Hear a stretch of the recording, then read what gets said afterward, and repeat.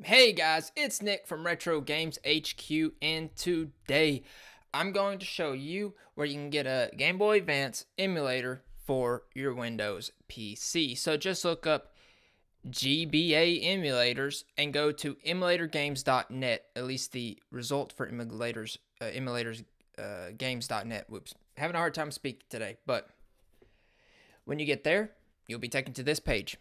Now, there are many, many, many, many emulators that you'll find on here. Like this one's for Windows. This is no one for Windows. Another one for Windows.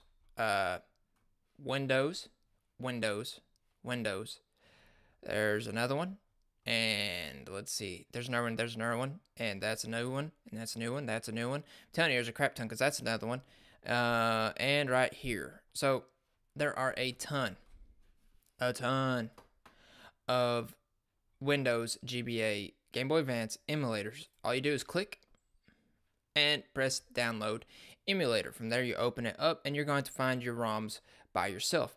And that's all for this video. I'll be doing more how-tos. Uh, soon, I'll be making how-tos for games once again, but I'm also putting out some gameplay for uh, randomized Pokemon Red if you're interested in that at all. So, I'll see you next time, and Retro on!